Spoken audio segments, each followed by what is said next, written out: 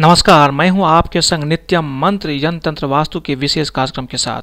महाशिवरात्रि पर भगवान शिव को कैसे प्रसन्न करना है आपको? कैसे आपकी हर मनोकामना पूर्ण होगी? इसी विषय पर आज हम चर्चा करेंगे। हम आपको ये बताएँगे कि क्या है पूजा का तरीका, कौन से मंत्र जप करें, कौन से पाठ करें और किस स्तुति का आपको पाठ करना है।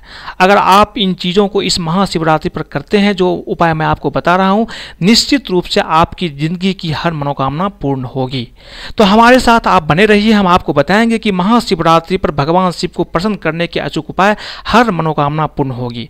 हम सीधा चलते हैं कि भगवान शिव महाशिवरात्रि की पूजा किस तिथि को मनाया जाता है।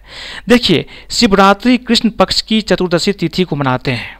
महाशिवरात्रि पर भगवान शिव की पूजा करने की क्या तरीका है, इसी विषय पर आज हम चर्चा करेंगे। देखिए, महाशिवरात्रि में रात्रि जागरण, यानी रात्रि की पूजा का बहुत बड़ा महत्व है। इसलिए रात्रि पूजा आपको अवश्य करना है।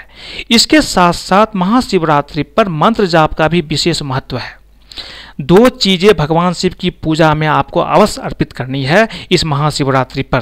पहली चीज़ें जल की पतली धारा आपको अर्पित करनी है। जब भी आप भगवान शिव को जल अर्पित करते हैं तो निश्चित रूप से आप ये ध्यान रखें कि जल की धारा धीरे धीरे पतली धारा भगवान शिव को अर्पित करना है।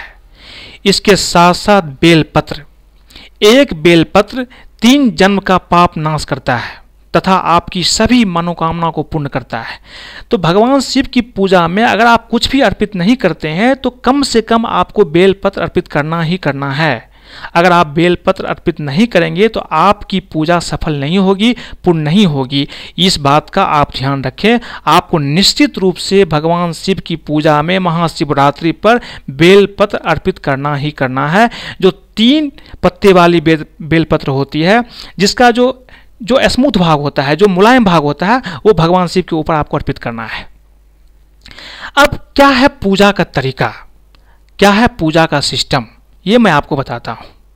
देखिए, प्रातःकाल स्नान करने के बाद आप शिव पूजा का संकल्प लीजिए। इसके साथ साथ आपकी जो मनोकामना है, उसकी भी आप संकल्प लीजिए। आप मन मन बोलिए, भगवान शिव से प्रार्थना कीजिए कि आपकी मनोकामना पूर्ण हो, आपकी धन की समस्या है या संतान प्राप्ति आपको चाहिए या आपकी ज़िंदगी में जो भी समस्या है, उन समस्याओं का आप संकल्प लीजिए और भगवान शिव से प्रार्थना कीजिए कि आपकी ज़िंदगी में वो चीज़ पूर्ण हो। उसके बाद आपको सूर्य देव को जल अर्पित करना है।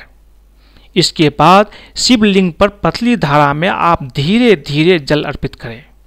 फिर पंचोपचार पूजन करना है, यानी एक एक कर आपको दूध, दही, शहद, घी गुड़ अर्पित करना है। इसके बाद फिर से आपको जल की धारा अर्पित करना है।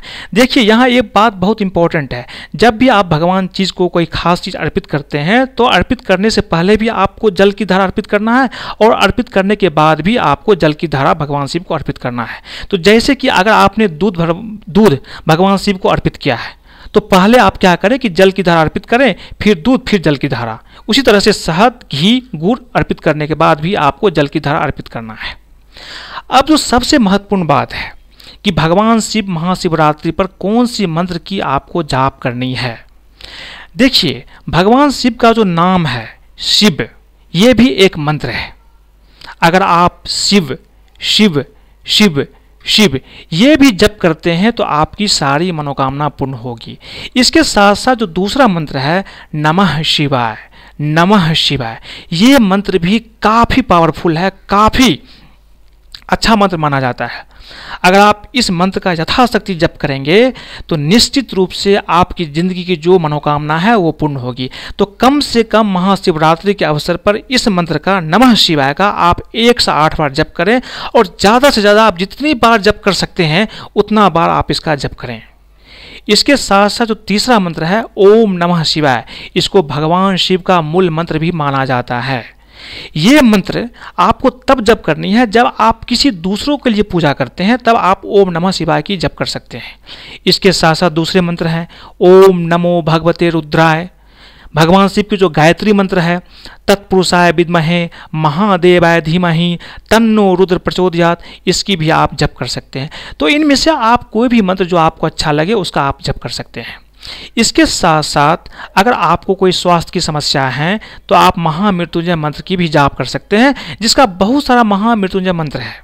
उसमें पहला मंत्र है, ओम त्रयंबकम यजामहे सुगंधिम पुष्टिवर्धनम उर्वारुक में बंधनान मृत्युर्मोक्ष मामृतात फिर से सुनिए, ओम त्रयंबकम यजामहे सुगंधिम पुष्टिवर्धनम उर्वारुक में वंधनान मृत्युर्मोक्ष मामृतात जो दूसरा मंत्र है, ओम जुम शाह ओम जुम शाह जो तीसरा मंत्र है, ओम जुम शाह माम पाले पाले, जो तीसरा मंत्र है, ओम ह्रुम जुम शाह त्रंबकीय नमः, ओम ह्रुम जुम शाह त्रंबक्य नमः।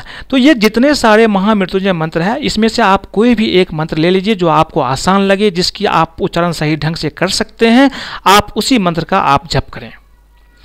मंत्र जप के साथ साथ अगर भगवान शिव की जो पाठ है अगर उसकी भी अगर आप जाप करते हैं तो जो आपकी मनोकामना है, उसकी पूर्ति बहुत जल्द हो जाएगी। लेकिन अगर आप ये कर सकते हैं तो करें। अन्यथा अगर आप नहीं कर सकते हैं तो ये करना ज़रूरी नहीं है। तो जो पाठ है भगवान शिव की, उसमें शिव पंचाक्षर स्तोत्रम है, रुद्राष्टक है, शिव स्तुति है, शिवाष्टक है, शिव तांडव स्तोत्रम है, शिव लिंगाष्टकम स्तोत्रम है, श्री द्वादश ज्योतिर्लिंगम स्तोत्रम है, शिव षडाक्षर स्तोत्रम है, शिव पार्वती स्तुति भी है।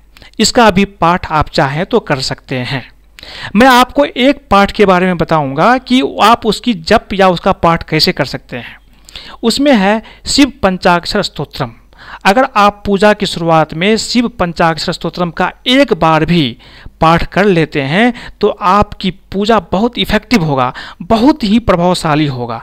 अगर आप ये कर सकते हैं तो। अगर आप नहीं भी करें तो आप इसकी चिंता ना करें, आप नमः शिवाय की जप करें, वही आपके लिए काफ़ी होगा। तो मैं आपको इसकी पाठ करके सुनाता हूँ। ध्यान से सुनिए। अगर आप कर सकते हैं तो अवश्य करें।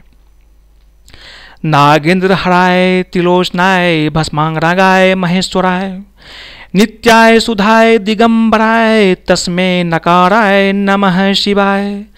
मंदाग्नि सलिल चंदन चर्चिताय। नंदीश्वर प्रथम नाथ महेश्वराय। मंदार पुष्प बहु पुष्प सुपूजिताय। तस्मे वकाराय, नमः शिवाय। शिवाय गौरी बदनाश में बिंद सुरजाय दक्षाधुर नाशकाय श्री नीलकंठाय वृषध्वजाय तस्मे शिकाराय नमः शिवाय। वशिष्ठ कुंबोध भव गोत मार्ज मुनिंद देवार्चित शेखराय। चंद्रार्क वेश्वालोचनाय तस्मे वकाराय नमः शिवाय। यक्षौरूपाय जटाधराय पिनाखस्ताय सनातनाय। दिव्याय देवाय दिगंबराय तस्मे यकाराय नमः शिवाय। पंचाक्षरमिदं पुण्यः य पठे शिव सन्निधो। शिवलोकमवाप्नोति शिवेन सह मोदते। इस तरह से आप शिव पंचाक्षर स्तोत्रम का पाठ कर सकते हैं। तो मैंने आज आपको बताया कि भगवान शिव की पूजा की शुरुआत आप कैसे करें, कौन सी मंत्र की जाप करें, कौन सी पाठ करें। अगर आप इन उपाय को इस महाशिवरात्रि पर करते हैं तो आपकी ज़िंदगी की जो भी मनोकामना है, वो निश्चित रूप से पूर्ण होगी। अगर आपको ये वीडियो पसंद आई है तो कृपया इसे लाइक करें, सब्सक्राइब करें, तथा अपने दोस्तों के साथ भी शेयर करें, ताकि वो भी इस महाशिवरात्रि का फ़ायदा उठा करके जो मैंने उपाय बताया है, अगर उन उपाय को करते हैं तो उनकी ज़िंदगी में हर मनोकामना पूर्ण होगी। आज के लिए बस इतना ही। धन्यवाद।